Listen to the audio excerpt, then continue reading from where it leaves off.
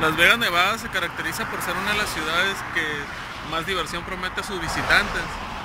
Pero, pues, al venir a comer comida mexicana en un restaurante que se llama El Gordo, Tacos El Gordo, pude notar en tan solo unas tres cuadras al alejarnos de la, de la calle principal donde se encuentran los casinos, logré contar al menos cinco o seis personas que están ya, se quedaron arribota.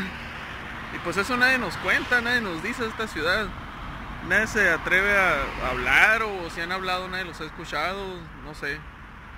Igual pues, pues, ahí está, ¿no? Para que no crean que Las Vegas solamente es diversión, es bienestar, Ahí está.